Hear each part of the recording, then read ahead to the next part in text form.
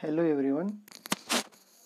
Myself, Professor Jagdish Lambe from Dr. J.J. Magdum College of Engineering, Jaisinghpur, presenting the video 3 and 4 for International FDP on Environment and Sustainability and the subject Solid Waste Management and Carbon Footprint.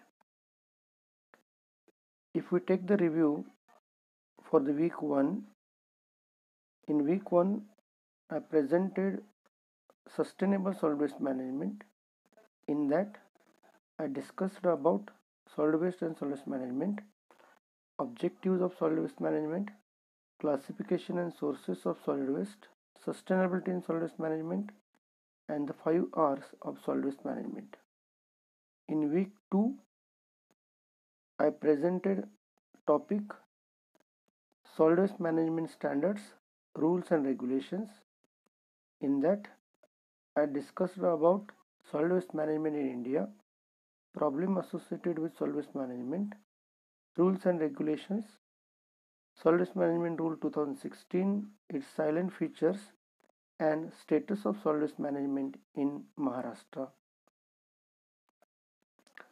In today's video, the outcome of the video after learning through video, students will contribution of the waste management sector to greenhouse gas emissions, greenhouse gas emission calculations for solid waste management, design a sustainable solid waste management system with reduction in the emission of greenhouse gases.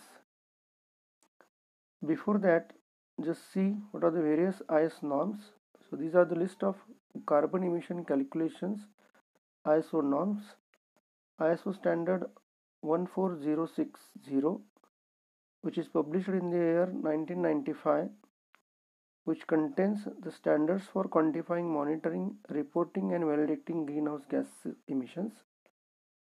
ISO 14067 2018 contains the greenhouse gas carbon footprint of products requirements and guidelines for the quantifications these are all are get published by the international organizations for standardizations which is a worldwide federation of national standard bodies. How this 14067 2018 is coming? So this is the relationship among the iso 14060 family of greenhouse gas standards where you can see the greenhouse gases and the carbon footprint with respect to that so ISO 14060 is get again amended subsequently. In the application of ISO 1460 family includes corporate decisions such as identifying greenhouse gas emission reduction opportunities and increasing profitability to redu reducing energy consumptions, carbon risk management such as identification and management of risks and opportunities, Voluntary initiatives such as participants in voluntary greenhouse gas registers or sustainability reporting initiatives. Greenhouse gas markets such as the buying and selling of greenhouse gas allowance of credits, allowances or credits. Regularity government greenhouse gas programs such as credit for early action agreements or national and local reporting initiatives. So this is the relationship between the documents and the standards beyond the greenhouse gas management family of standards. So IS 14026, IS 14044. So these are related to the footprint communications. So carbon footprint standards report IS so 14067 which is used for finding out the or which is give the report with respect to the carbon footprints. If you take the what is mean by greenhouse gases so this is the overview of greenhouse gases. The gases that trap heat in the atmosphere are called greenhouse gases. Mainly it contains carbon dioxide co2 so the co2 enters the atmosphere through burning fossil fuels coal, natural gas and oil, solid waste, trees and other biological materials and also as a result of certain chemical reactions. The methane CH4 methane is emitted during the production and transportation of coal, natural gas and oil. Methane emissions also result from livestock and other agricultural practices and by the decay of organic waste in municipal solid waste landfills. The nitrous oxide N2O is emitted during agricultural industrial activities, combustion of fossil fuels and solid waste, as well as during treatment of wastewater. The fluorinated gases are nitrogen fluorinated are synthetic powerful greenhouse gases that are emitted from a variety of industrial processes. So from this the carbon footprint is the amount of greenhouse gases primarily carbon dioxide released into the atmosphere by particular human activity. The carbon footprint can be a broad measure or be applied to the action of individual, a family, an event, an organizations, or even an entire nation. It is usually measured as tons of CO2 emitted per year, a number that can be supplemented by tons of CO2 equivalent gases, including methane, nitrous oxide, and other greenhouse gases. Now, how is the carbon footprint calculated? It is calculated by estimating not just the CO2 emissions that is activity in question causes, but also any emissions of other greenhouse gases and some cases other types of climate change impacts as well such as vapor trails from aeroplanes. For simplicity, all these impacts are added together and expressed as a single number in terms of carbon dioxide equivalent that is CO2e, the amount of CO2 that would create the same amount of warming. So this global warming potentials is related are a quantified measure of globally average relative radio radiative forcing impacts of a particular greenhouse gas. It is defined as the cumulative radioactive forcing both direct and indirect effects integrated over a period of time from the emission of a unit mass of gas relative to the some reference gas. So carbon dioxide was chosen by the IPCC as relevance reference gas and its global warming potential is set equal to 1 ton. These are the global warming potentials values related to the CO2. So carbon dioxide, CO2 so when there is assessment is takes place it remains 1 so global warming potential values for 100 years time horizon. So methane the last assessment 28 and the nitrous oxide the last assessment 265 now coming to the integrated solid waste management system. So solid waste management having the six functional heads that is generation storage collection transfer and transport treatment and disposal. Here we can see the waste is get collected. Then there are various options. Either you can go for the recycling then whatever the recycling materials are there those were used for the products. Some materials go for the cogeneration. Then whatever the material which is that is compostable it is go for the mechanical composting that is MBT plant and the from that we have to generate the power we have to generate the reuse recyclable materials and the absolutely non-usable material go for the landfill.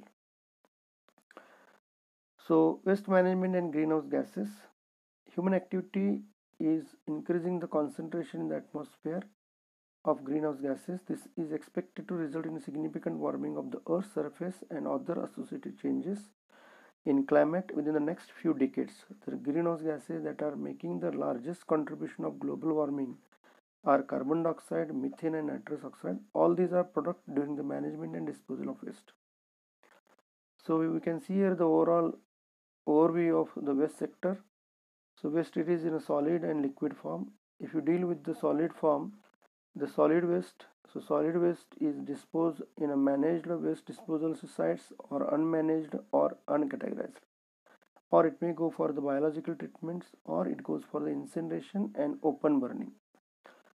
So in a incineration and open burning the waste is get burned in the incinerator and the open dumping the waste is get burned on open and because of this the global warming potential that is CO2, CH4 and N2 is get generated. So CH4 emissions from solid waste disposal sites are typically the largest source in the waste sector. So what are the steps? So steps in the waste management processes where the gases are get generated. These are falling in the following categories. Mobilizations, climate change impacts of waste mobilization are mostly indirect emissions associated with the collection, sorting, processing and transporting waste. The process of treatment emissions include greenhouse gases derived from the waste itself and from fuel used in its treatment that is indirect emissions. Disposal the greenhouse gas emission results from the ultimate disposal of waste in landfills or the use of materials derived from the waste. One of the main greenhouse gas impacts of waste management originated from methane emissions from biodegradable waste in a landfill. Displaced emissions avoided as a result of useful energy or materials being recovered from waste displaces emissions that would have happened if alternative energy or materials had been used elsewhere in the system when energy recovered from waste either as electricity, heat or both in combined heat and power. These are the various waste management options. So options for bulk collected municipal solid waste. So it is either go for landfill or incineration or mechanical biological treatment which is called as MBT. Options for source segregated municipal solid waste it is go for composting, anaerobic digestions and recycling. How the carbon is get generated? So this is carbon flows in the management of biodegradable waste. If you see the example of landfill, so CO2 from atmosphere it is consumable plant material then it contains carbon then if it, when it goes for the landfill the landfill gas CO2 and CH4 is get generated C in the landfill and then it get merged in the atmosphere in, in, in the form of CH4 that is methane. Then if you can see the composting if you go for anaerobic digestions and mechanical biological treatment so all these processes the carbon is get generated. This is the example of incineration. So co2 from atmosphere plant material contains carbon the incinerator the material is get burned and from that the co2 is get generated and it, it is expelled into the atmosphere so this is the linking between the waste management and greenhouse gases. So the waste is uh, the greenhouse gases is generated from the extraction from the manufacturing of new products for the combustion of the solid waste and from the landfilling. So how we determine the carbon footprints from solid waste? So the methods for determining carbon footprints of solid waste these are broadly classified into theoretical estimations and experimental methods. So theoretical estimation includes mass balance approach, default methodology, first order kinetics, triangular method. So in the mass balance approach, mass balance approach is the simplest level of emissions estimation. It's used in a general discouraged because it gives a high high high estimation of emission this method does not include any factor and does not distinguish between the various types of disposal sites. In this approach, theoretical emissions are calculated using stoichiometric equations. So the equation is as follows, which is shown in the screen.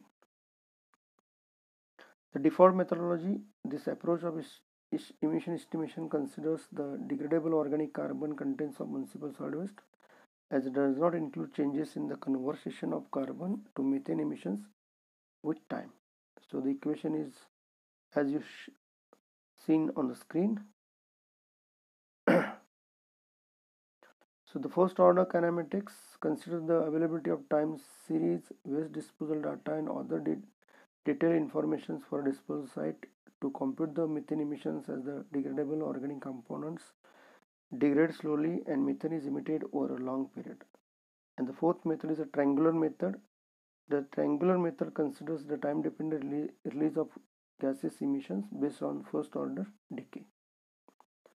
So this is the first order decay equations which gives the methane emissions from solid waste disposal sites. So CH4 emissions, CH4 emitted in a years. T is inventory year. X is a waste categories or type material. RT is a recovered methane in year T and OX2 is oxidation factor in year T. So CH4 generated is estimated on the basis of the amount of decomposable degradable organic carbon which is the part of the organic carbon that will degrade under the anaerobic condition in solid waste. So this is a flowchart of experimental setup where we can see there are four chambers C1, C2, C3, C4, C5, C6, C7, C8 whereas chambers C1, C2, C3, C4, C5 were maintained under anaerobic conditions where C6, C7, C8 are maintained under aerobic conditions. The chambers C1, C2 are used for gas analysis, C3, C4, C6, C7 were used to monitor weight reduction with time and C8, C5 were used for organic fractions analysis. So these are the table shows the components of net emissions for various municipal solid waste management strategies.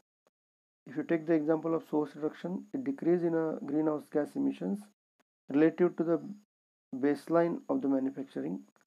Then recycling also decrease in gas emission, greenhouse gas emissions. If you go for the combustion, no change. Landfill, there is no change. And subsequently, you can see the change in forestal soil carbon storage and waste management. This is the flowchart where we can see the greenhouse gas sources and sink associated with materials life cycle. So the virgin inputs of the waste, the life cycle stages, transportation, manufacturing, then it goes for the recycle, then it goes for the composting, then it goes for the incineration, that is combustion, and finally it goes for the landfill. So in all these these greenhouse gas emissions are there and that we try to sinks and emissions offsets. Those who are seen in this particular flowcharts. Finally, the what are the various mitigation measures? So carbon footprint quantifications reveal that greenhouse gas emissions are mainly due to the mismanagement, absence of recovery and treatment of organic fractions of municipal solid waste. So the mitigations of greenhouse gas emissions from municipal solid waste includes reduction of the quantity of waste, segregation of organic fractions of the waste, and treatment of waste to recover energy or resources that is compost aerobic treatment so reduction of waste generation is possible through reduced waste generation segregation at source level reuse and recovery waste composting and anaerobic digestion are treatment options for organic waste which constitutes 70 to 75 percent of total whereas recycling is used for inorganic materials 15 to 18 percent waste that cannot be treated or recycled are ultimately disposed at disposal site or landfills. Segregation at the source with treatment on local levels plays a prominent role in minimizing organic fractions getting into disposal sites. Thank you. Thank you very much.